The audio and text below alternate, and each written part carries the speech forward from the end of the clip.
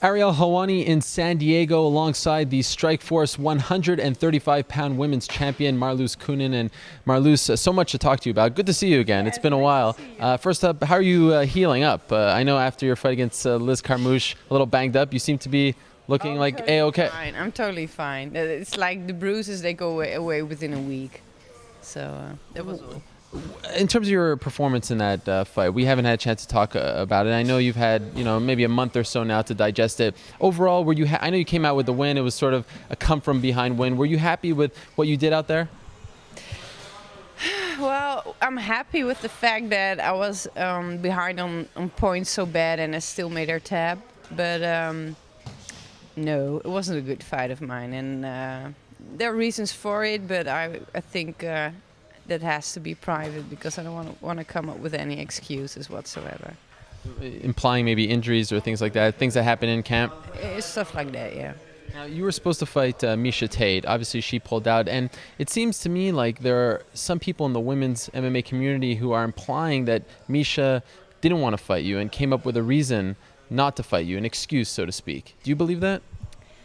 Uh, I don't want to make false accusations to anyone, so uh, I would not disrespect her. But it did came across a little bit strange to me. But if she steps up this time, it's all forgiven. But it happened so late. Why would you think she would, you know, agree to fight you and then two weeks before pull out? yeah, well, what what was strange too is that she kept on promoting the fight. Well, we already knew uh, by a few days that she wouldn't fight me. It will be Liz. There are things. Um, well, let me put it like this: it's not the smartest thing to do, and I think she's really good in promoting herself. So, do you have any idea when this fight will now take place? Uh, yes, I have a kind of a clue. Can you share it with us? no, no, no. Um, but um, uh, it hasn't signed yet. It hasn't been uh, official yet. So, but it will be this year for sure, 100%. Perhaps in the summertime? Uh, if I'm correct, it will be around that time. Maybe the June 18th show? I know. We'll leave it at that. yeah. And this is obviously, you know, it's amazing how much has changed in the last month. When you fought Carmouche, you know, Strikeforce was Strikeforce. Now it's owned by Zuffa. What did you think when you heard this news?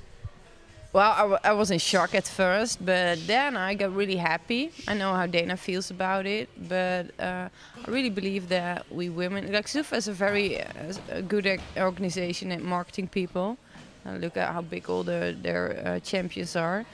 And um, I think we as women, we really can uh, attribute to uh, the Zuffa income as that we, c- like, if um, more women, like a new target group, are drawn to the to the sport and we're role models for them, I think we've got a really big loyal fan base that we can gain and uh, can make uh, income for Zuffa. So I believe in it. And, and second, I refuse to not believe in it. I'm, I'm way too long in this game to give up now. You mentioned Dana White. He has said on multiple occasions that he isn't a fan of women's MMA, not so much because he doesn't like it, but because he says that really the talent pool isn't deep enough right now. Do you feel as though you need to prove something to him? Like that still, even though Zuffa has purchased Strikeforce, that the coast isn't clear, so to speak? Ah, we've we've got. Uh, my contract is for at least a year, so I've got a year to prove him wrong. Is that your mindset? No, I, to be honest, I truly believe that Zuffa is positive about the female fighting, and uh, I hope I can uh, get a chance to talk with Mr. Uh, Dana. You haven't talked to him yet. No, I haven't. If there's one thing that you would like to see Zuffa do to help grow women's MMA, what would it be? Uh, just put their expertise into our division, and uh, we will grow. And uh, you recently celebrated your birthday. I'm not going to ask you how old you are. no, no, no. 22 is my guess. Again. But you were over in Thailand, right? Yeah. Celebrating. What were you doing over there? Uh, well, Alistair is preparing for his fight in June, and my trainer was with him, and he will be away for a month. And it was like, uh, if I'm fighting any soon, I cannot miss out on my trainings too much. I'm also working out without him, of course. But uh, so I was there, and uh, I became Alice, Alistair's intern. So um, he took me to uh, his um, oh, uh, fitness, and uh, I, when I was on the pads, he was guiding me, and we've talked a lot, and I really learned a lot. I, I'm in this game for a long time, but I really learned a lot from him, and it was so kind, you know. I mean, he's the K1, he's the dream, and he's a Strikeforce champion, and he takes time to to coach and uh, guide his uh, his peers, his teammates. Does this mean you also had to get him coffee and get his laundry and things like that? Nah, That's what I think no, when I think no. intern. Oh no no no no!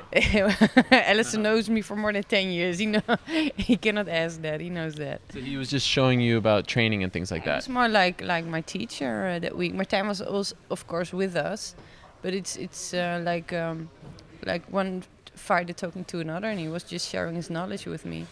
You often train with uh, women fighter, oh, excuse me, male fighters, right? In Thailand, were there any women fighters available for you to train with? No, I, I basically did uh, pet work, and Alice had some uh, sparring partners as well. I, but I did work out too much with the guys. I was also with my manager, Bas Boon. He did hold, hold mitts for me as well, and uh, my trainer did it. And uh, because in my last fight, my, when I was fighting uh, in Japan, I knocked the girls often down or out with a single punch, and it didn't happen too much. So we're really working on. Um, like pinpointing my techniques in stand up and um, we were also like def- for the defense because all the girls are rushing into the cage now. That's the strategy, and it did work. so um, th- th- there are things we've been working on. And when I'm back in the Netherlands, uh, camp starts again.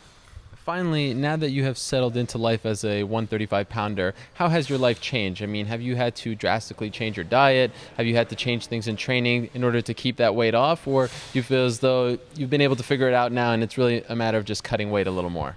Yeah, well, uh, this time, uh, uh, the last time I had to cut weight, it was easier than the first time. So I believe it will be, will be easier every time I do it. And yeah, I have to uh, watch my diet. But uh, I did it already. I was already eating healthy, but I was eating healthy in the wrong way. And now I'm eating healthy in a good way. So uh, now I'm feeling great. But in, in the Netherlands, not a lot of people know me, though things are changing now. So um, I'm still like walking around easy, like like every Dutch uh, person does, and going to the gym and work out and having my normal life. How are things changing?